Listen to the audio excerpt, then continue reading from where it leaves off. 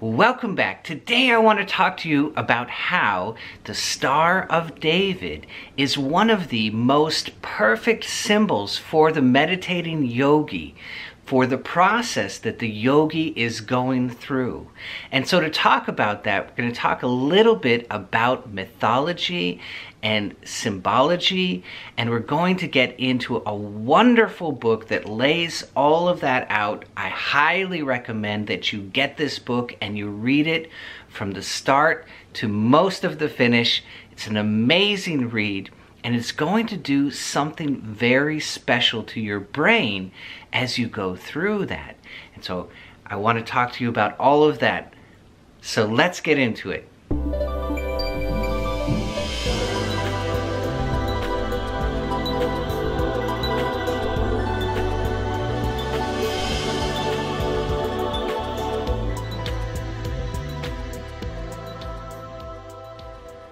So the first symbol is the triangle, the base triangle, which is the symbol of a mountain.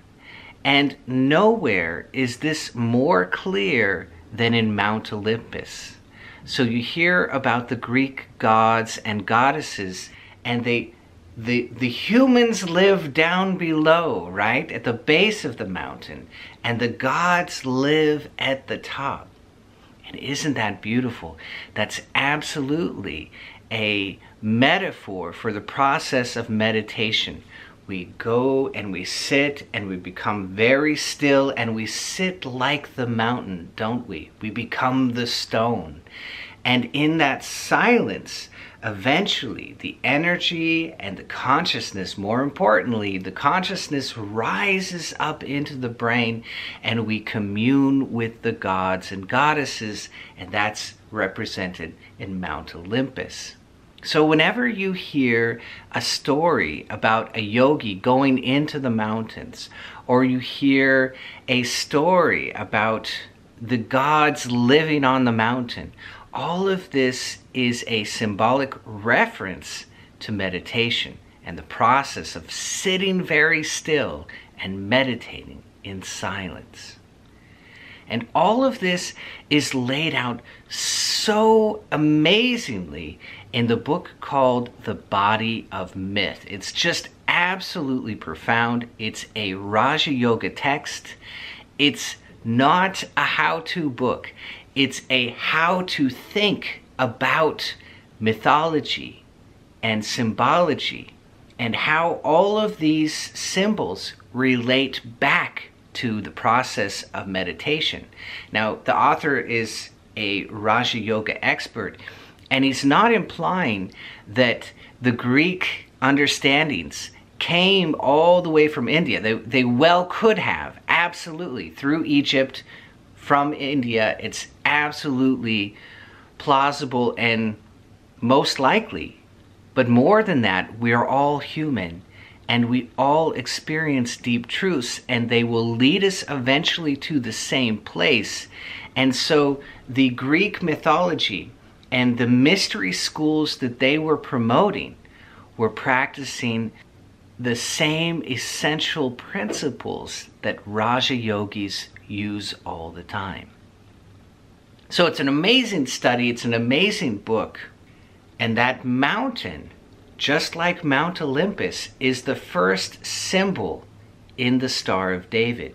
And that is the yogi sitting every day in meditation, sitting very still, going into the low idle state, awakening the parasympathetic system, awakening the dorsal vagal parasympathetic system specifically, going into the freeze response and freezing in stillness like the mountain. So that's the first symbol. And then we see the triangle coming down into the mountain.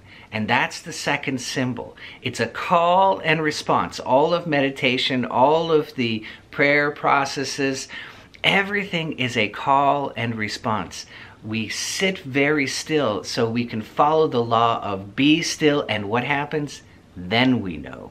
So we be still so that we can know. It's a call and response. And so that second triangle coming down from the heavens is the heavens coming down. That is the response of the divine integrating with the yogi. And so you have in every spirituality, you have this wonderful language of letting go, of surrender, of opening yourself in a loving manner. And all of this is describing this call and response. It's not that you forced the divine to come down into you, it's that you opened yourself to it, and because of that surrender, it came. And I love to put it in this language if you will induce the right brain, if you will induce expansion, then the right brain will come down on you. If you induce bliss, then the left amygdala of bliss will come down on you. It's not that you forced it, it's that you called it, you induced it. And so that channel gets stronger and stronger, and it shows up more and more in your life and in your meditation. So that's the divine coming down. So the yogi is sitting there, he's sitting very still. He reaches his deepest point. He brings his consciousness, he rises it up through the process of Om Japa through the chakras. The consciousness rolls up into the brain, and now he's sitting with the gods and goddesses, and the divine is coming down.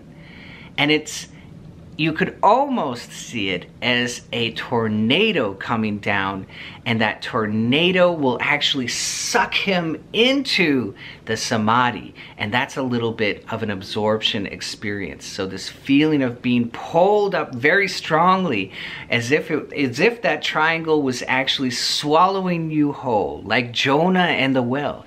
That's a story of this triangle coming down.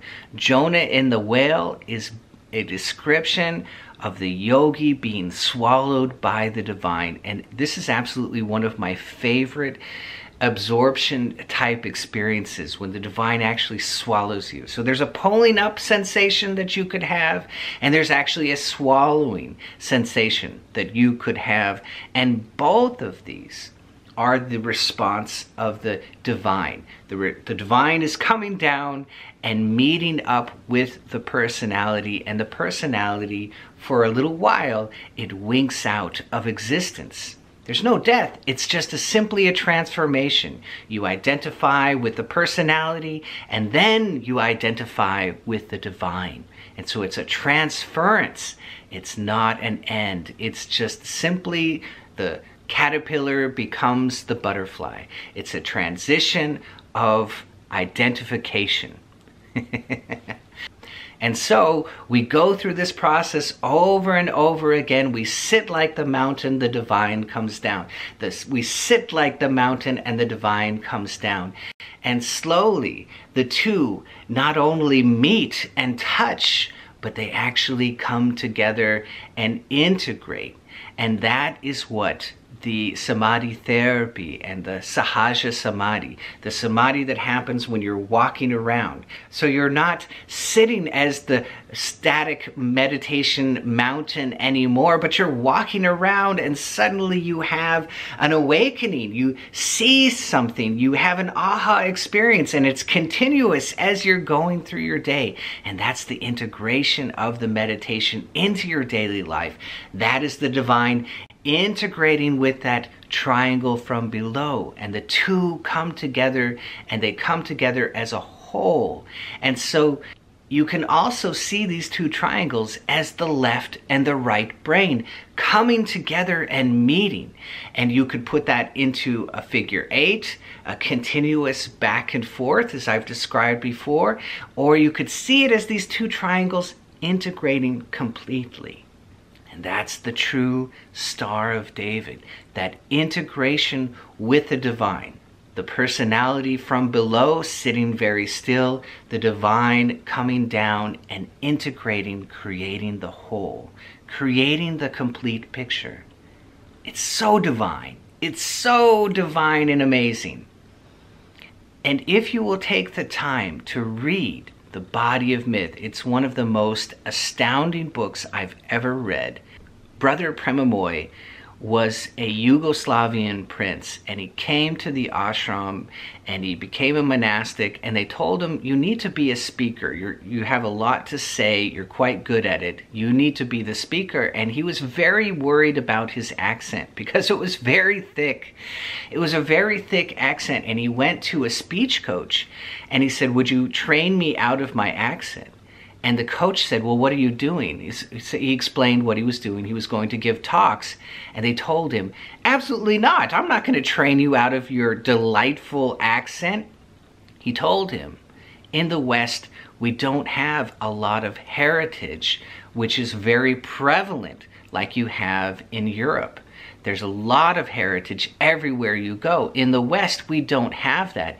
And we crave that heritage. And so when you sit up and you speak to people with your thick accent, they get a feeling, they get a flavor of that huge heritage which is behind you. And you will capture your audience much better because of your accent. And so he kept his accent, which is wonderful. But that's a story for us as well.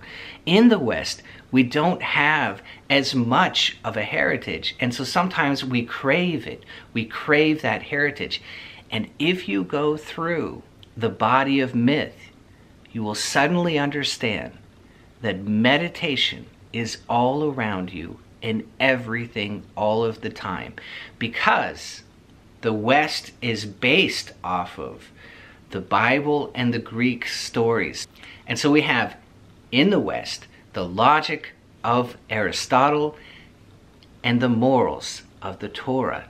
And those two have integrated and, and created the base of Western civilization.